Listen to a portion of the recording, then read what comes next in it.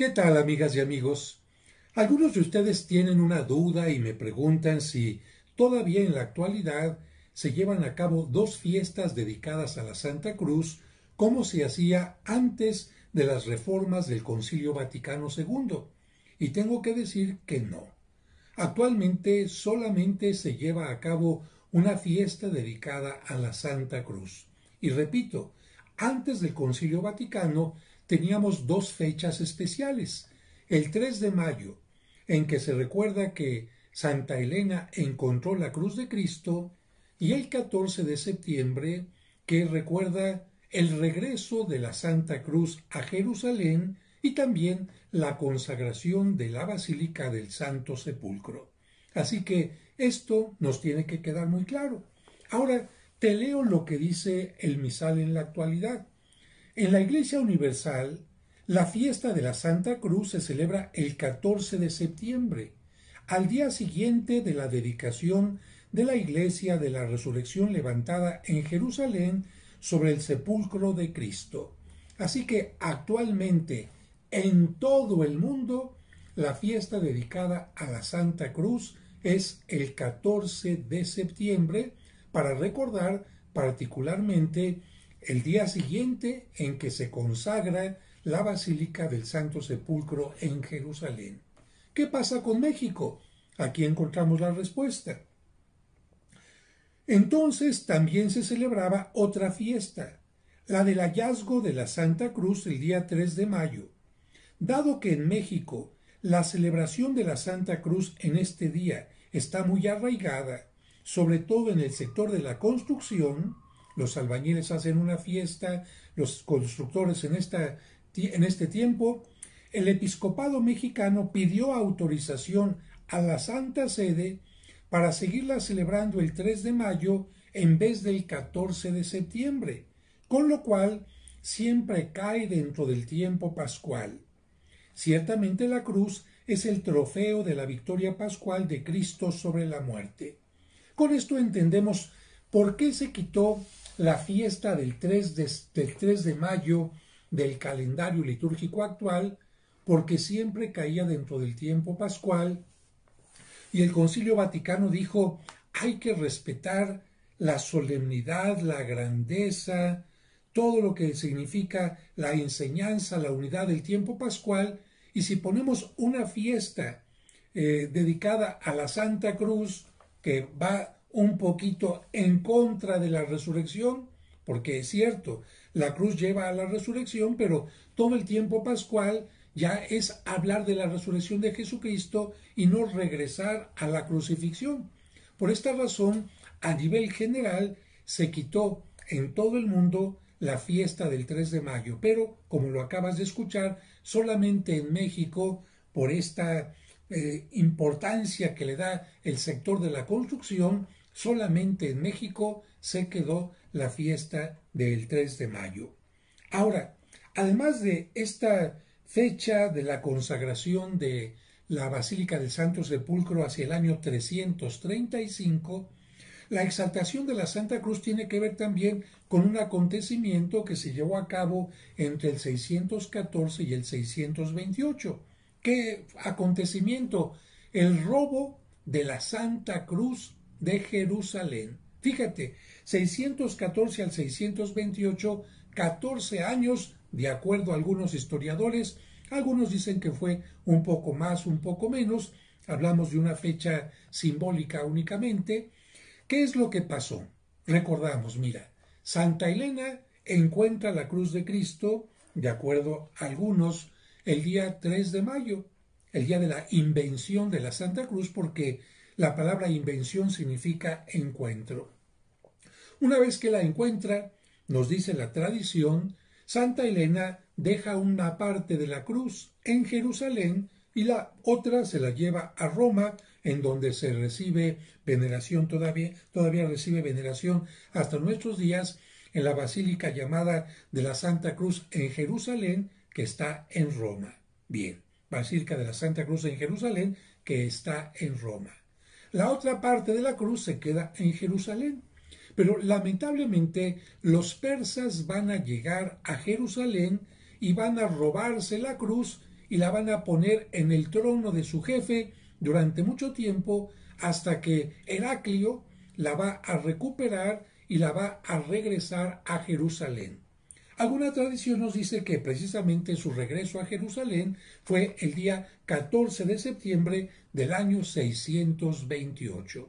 Y bueno, para saber un poquito más de esto, hay un libro que ya te he recomendado que se llama El Flo Sanctorum o bien también el libro de la leyenda dorada, en donde en una forma sencilla podemos enterarnos de qué es lo que pasó. La leyenda dorada es mucho más amplia en detalles, escrita por Santiago de la Vorágine en la Edad Media, y en este caso, recopilando textos de la Edad Media y anteriores, y en este caso el Flo Santorum dedica para cada día, para cada santo, para cada fiesta como la de el día de hoy, que es lo que dedica una simple paginita. De tal manera que con una simple página tú te enteras de qué es lo que, qué es lo que pasa en la vida de cada santo o en la vida de cada fiesta. 14 de septiembre, la exaltación de la Santa Cruz, y te lo leo con mucho gusto.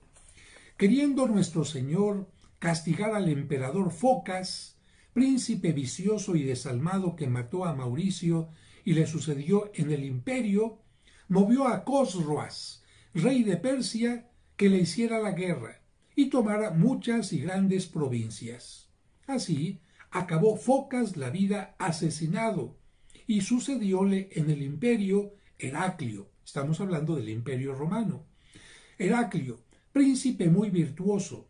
Entre tanto, Cosroas, como señor del campo, daba sobre unas ciudades y otras tomándolas por fuerza de armas, y finalmente vino sobre la santa ciudad de Jerusalén y la tomó y saqueó y mató en ella miles de personas, y llevó consigo preso y cautivo a Zacarías, patriarca de Jerusalén, santo varón y excelente prelado, y a otro gran número de gente, y tomó el santo madero de la cruz de Jesucristo nuestro Redentor, y le llevó a Persia, y le puso encima de su trono real que era de oro fino, entre muchas perlas y piedras preciosas. Como Heraclio, viese los daños de su imperio, juntó un ejército de gente nueva y bisoña para salir en busca de Cosruas, confiando que Dios le daría victoria del blasfemo e insolente rey. Trabáronse entre los dos ejércitos crueles batallas sin declararse la victoria por ninguna de las partes hasta que, pidiendo Heraclio socorro a la Virgen Santísima, cuya imagen llevaba en la mano derecha, súbitamente se levantó un viento muy recio, con grande lluvia y granizo, que a los cristianos daba en las espaldas y a los persas en los ojos, con lo cual los cristianos quedaron desde aquel día vencedores. Cosruas, humillado y vencido, restituyó todas las tierras que había tomado del imperio y el tesoro de la casa real que poseía su padre y la Santa Cruz, y todos los cristianos que tenía cautivos el emperador Heraclio, para hacer gracias a nuestro Señor, ordenó una solemnísima procesión en la cual llevaba él mismo en sus hombros la Santa Cruz que había estado catorce años en poder de Cosruas. Pero al entrar con ella en Jerusalén y llegando a la puerta de la ciudad, no pudo dar un paso adelante. Qué interesante, que nos va a contar la historia que necesitaba hacer algo el emperador para poder entrar a Jerusalén con la cruz. Entonces el santo patriarca Zacarías le dijo, Mira, oh emperador, si es la causa de esto el llevar tú la cruz con muy diferente traje y manera que el Señor la llevó por este camino. Eh, el patriarca le dice, mira, Cristo llevó la cruz por este camino de Jerusalén, pero ¿cómo iba? Con toda humildad, con unas vestimentas sencillas y por lo tanto, ¿qué es lo que tienes que hacer tú? Quitarte tus vestimentas, asemejarte a lo que hizo Cristo. Entonces se quitó Heraclio la vestidura imperial y la corona de la cabeza, y con los pies descalzos pudo proseguir con la procesión hasta poner la sacrosanta cruz en el mismo lugar de donde Cosroas la había quitado quiso nuestro Señor ennoblecer aquel triunfo y regalar a su pueblo con grandes maravillas, entre las cuales resucitó aquel día un muerto, cuatro paralíticos cobraron salud, quince ciegos vista, diez leprosos quedaron limpios, y muchos que eran atormentados del demonio quedaron libres, y gran número de enfermos con entera salud, a cuyos prodigios pueden añadirse otros infinitos obrados en toda la cristiandad por la virtud de las reliquias de la Santa Cruz, en la cual se nos dio la salud, la redención y la vida eterna. Así que ya tienes estos dos datos. Si tú estás viendo este video fuera de la República Mexicana, en el lugar donde tú vives, la fiesta de la Santa Cruz después del Concilio Vaticano se lleva a cabo el 14 de septiembre. Pero solamente en la República Mexicana esta fiesta, por razón de el cariño que tienen los albañiles, los constructores a esta fiesta, y por petición de todos los obispos de México, quedó el 3 de mayo, aunque sea dentro del tiempo pascual, que no puede eh, en este momento concentrarse en la cruz, sino sobre todo debe de concentrarse en la resurrección de Jesucristo. Antes del Concilio Vaticano existían las dos fiestas, el 3 de mayo, día del encuentro de la Santa Cruz por parte de Santa Elena, y el 14 de septiembre, el día de la exaltación, recordando el día siguiente de la consagración de la Basílica del Santo Sepulcro de Jerusalén y el regreso en el año 618 de la cruz que había sido robada por los persas. Y termino diciendo, actualmente los dos fragmentos más importantes de la cruz de Cristo ya no están en Jerusalén. En Jerusalén habría un fragmento muy pequeño.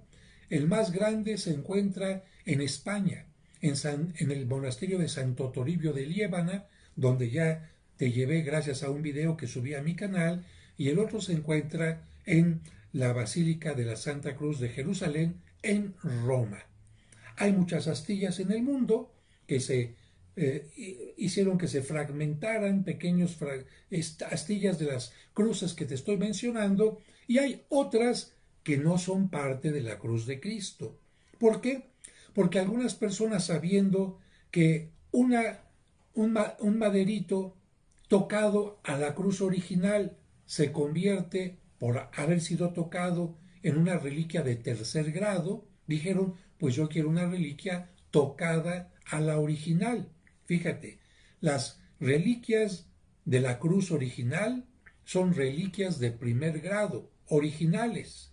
Las reliquias de tercer grado no son reliquias de la verdadera cruz, son fragmentos de madera que se tocan a la verdadera cruz y en ese momento se convierten en reliquias de tercer grado por haber sido tocadas a la verdadera cruz, pero no son astillas de la verdadera cruz. Creo que con esto te queda muy claro este tema. Recuerda que si te gustó este video, dale me gustó y si no estás suscrito, aquí donde dice suscribirse, puedes suscribirte para que te lleguen todos los videos que voy subiendo automáticamente a tu correo. Amigos, espero haber respondido a esta pregunta de si todavía hay dos fiestas de la Santa Cruz a nivel mundial. Que Dios les bendiga.